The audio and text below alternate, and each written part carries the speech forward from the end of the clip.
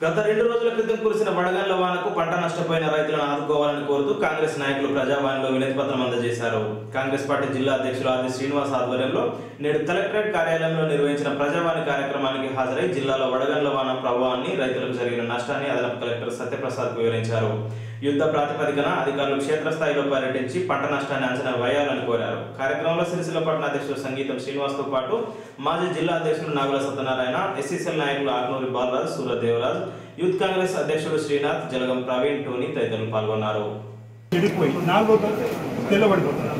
కాబట్టి వీలైతే ఆ వారి దాన్ని ఎవరైతే రైతులు వాళ్ళు నష్టపోయిందన్న వాళ్ళకి మరో నాలుగు రోజులకైనా మళ్ళీ ప్రత్యేకమైన సర్వే చేసి వరి పంట నష్టము వరి మామిడి అయితే మనకు కనిపిస్తుంది నువ్వులు కనిపిస్తున్నాయి మొక్కజొన్న కనిపిస్తుంది ఇవన్నీ ఇవి- ఈ మూడేమో మనకు కనిపిస్తున్నాయి. మొక్కజొన్న కనిపిస్తుంది నువ్వుల పంట కనిపిస్తుంది మామిడి కనిపిస్తుంది. ఈ వడ్ల ప- పంట మాత్రం ఇది వరి పంట అవుతుందో నాలుగు రోజుల తర్వాత మనం తిరగడానికి అవకాశం ఉందని రైతులు చెప్తున్నటువంటి వాళ్ళ అనుభవంతో చెప్తున్నట్టు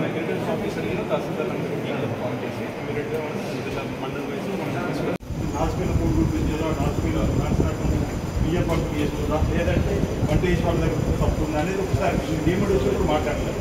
అన్ని సమాజం జనాలు బాగుంటుంది.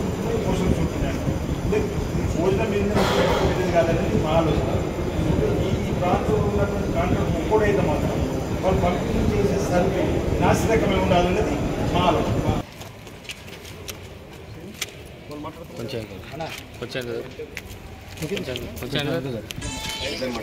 కురుస్తున్నటువంటి వడగాల వర్షం కానీ రాళ్ళ వర్షం కానీ పొలాలు నష్టపోయే నష్టపోవడం జరిగింది.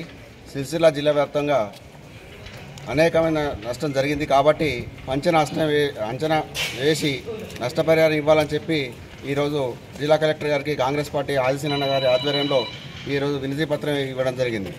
గత నా గత నాలుగు సంవత్సరాల నుండి ఇంతవరకు రైతుకు ఎటువంటి నష్టం ఇవ్వ నష్టపరిహారం ఇవ్వలేదు. ఇన్సూరెన్స్ కూడా చేసినా కానీ వారికి ఇవ్వలే ఇవ్వలేనటువంటి పరిస్థితి ఉంది.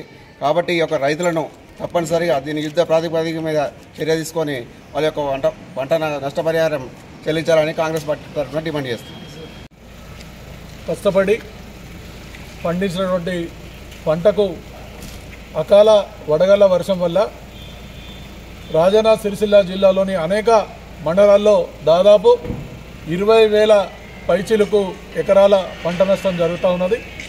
దాంట్లో వాణిజ్య కానీ లేకుంటే వ్యవసాయపరంగా వరి కానీ మొక్క కానీ నువ్వులు కానీ ఈ విధంగా వివిధ పంటలు పూర్తిగా దెబ్బతిన్నటువంటి పరిస్థితుల్లో రైతు కోలుకునేటువంటి పరిస్థితిలో లేడు.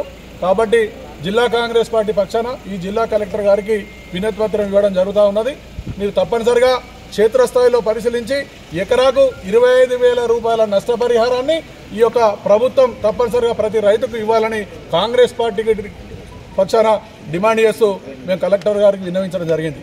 ఇదివరకు జరిగినటువంటి వానలు కానీ లేకుంటే ఇతరత్ర రైతు నష్టాలు రైతులు ఈ జిల్లాలో జరిగినటువంటి పంట నష్టానికి దాదాపు నాలుగు సంవత్సరాల నుంచి ఏ ఒక్క రైతు కూడా నష్టపరిహారం ఇవ్వనేటువంటి ఈ ప్రభుత్వం.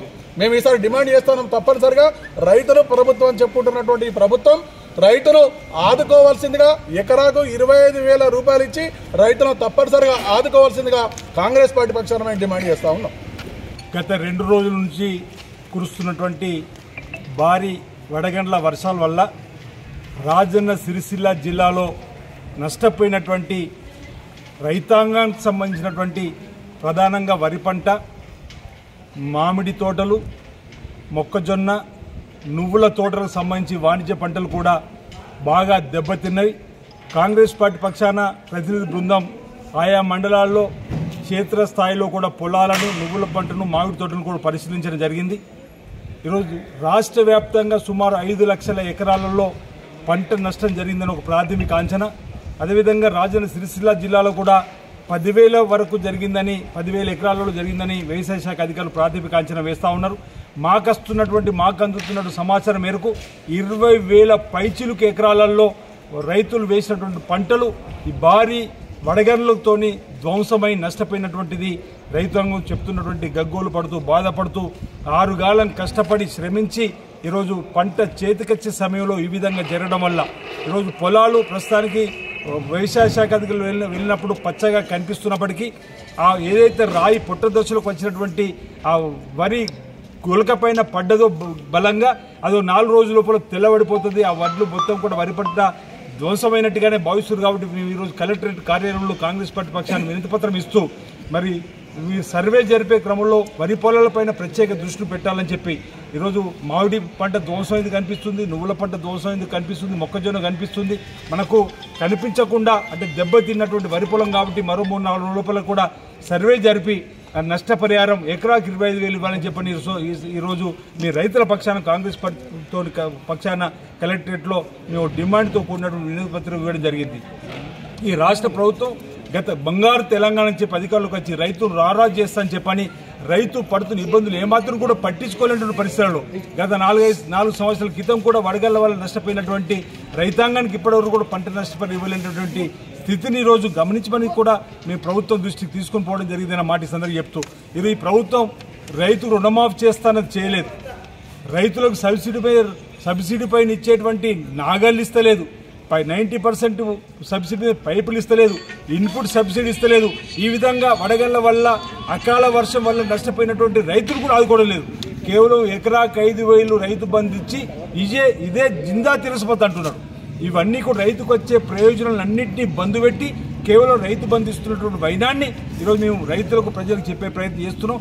అందుకే బంగారు తెలంగాణ చెప్పి తొమ్మిది సంవత్సరాలైనా రైతుకు ఆదుకునేటువంటి సందర్భం లేదు కాబట్టి రాబో రోజుల్లో వరంగల్లో రాజీవ్ రాహుల్ గాంధీ గారు రైతు డిక్లరేషన్లో ఈ రాష్ట్రంలో పండిస్తున్న ప్రధాన పంట ఏదైతుందో వడ్లను ఇరవై ఐదు వందల రూపాయలకు క్వింటాల్ చొప్పున కొనుగోలు చేస్తామనేటువంటి హామీ రైతులు రారా చేయాలని చెప్పిన లక్ష్యంలో భాగంగా తీసుకోవడం జరిగిందనమాట ఇందిరమ్మ భరోసా కింద ప్రతి రైతుకు పదిహేను వేల రూపాయల భరోసా వీళ్ళు ఎవరైతే కూలీలు ఉన్నారో వాళ్ళకి కూడా పన్నెండు వేల రూపాయలు ఏటా ఇచ్చేటువంటి కార్యక్రమం. అంటే రైతులు రారా చేయడానికి కోసం వరంగల్ డిక్లరేషన్ ఏదైతుందో దాని ద్వారా రాబో రోజుల్లో ఈ పది మాసాల్లో ఈ ప్రభుత్వం రైతులను ఆదుకుంటుందనే భావన మాలో లేదు.